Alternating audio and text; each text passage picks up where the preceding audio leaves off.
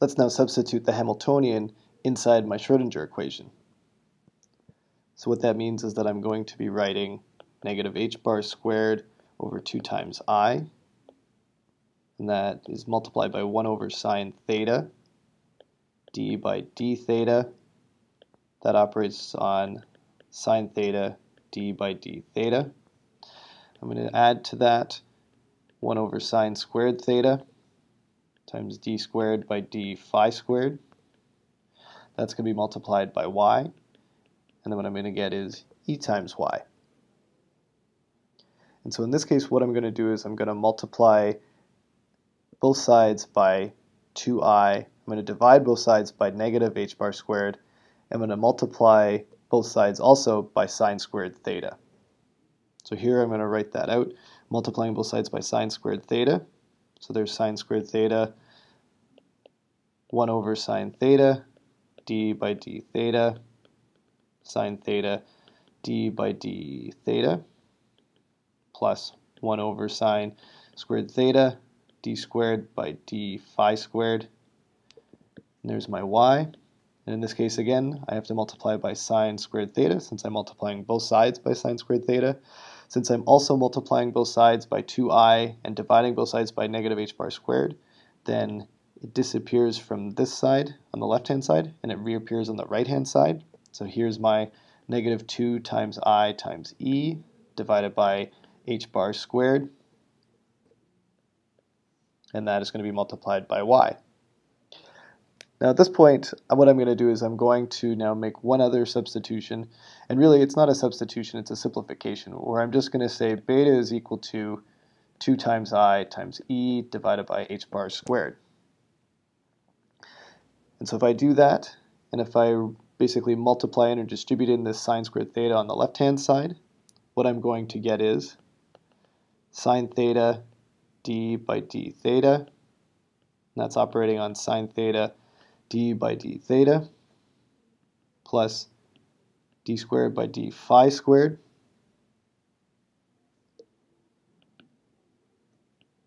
That's going to all be multiplied with y. And that's going to be equal to negative beta sine squared theta times y. And so now what I'm going to do is I'm going to multiply in from the right my y term on the left-hand side. And then I'm also going to move my right-hand side over to the left-hand side. So in that case, what I'm going to get is sine theta d by d theta. That operates on sine theta dy by d theta, because again, I'm multiplying in to the right-hand side my y term, so it ends up in both those places. So here I'm going to then add d squared y by d phi squared. And to that I'm also going to be moving to the left-hand side this beta sine squared theta y term. And so my final thing that I'm going to do is I'm going to take this term with respect to phi and I'm going to move it over to the left or sorry to the right hand side.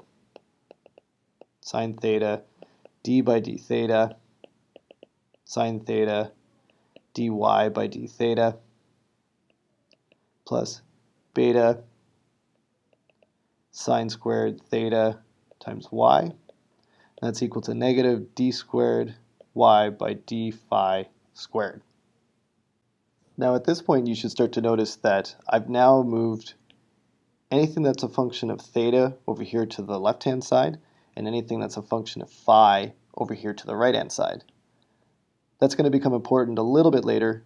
At this point what I'm also going to define is that my solution to this differential equation, y, which is a function of theta and phi, I'm going to let that equal to be something of a function of theta, and it's then multiplied with something that's going to be a total function of phi.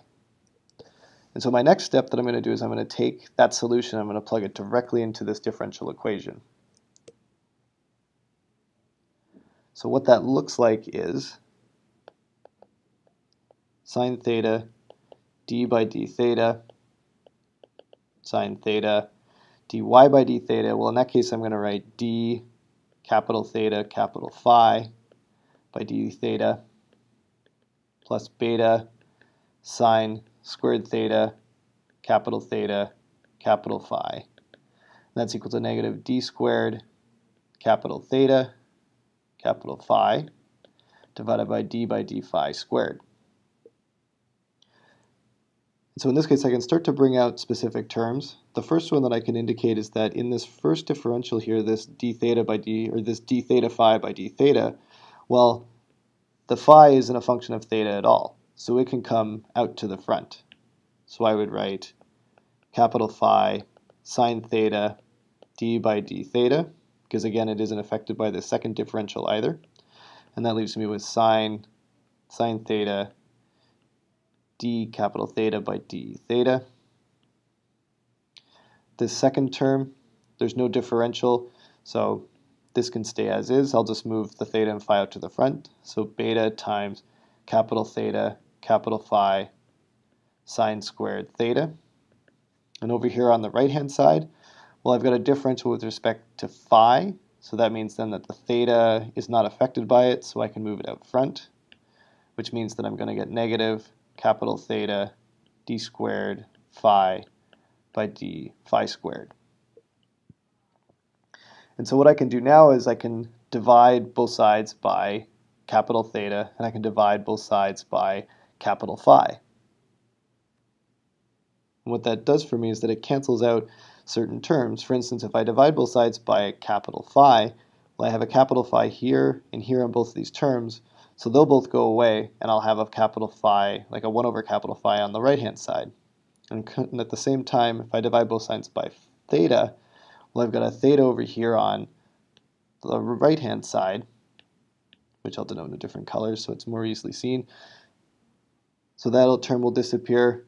I have one here in this term, so that one will disappear. So that means I'm only going to get one in the first term on the left-hand side.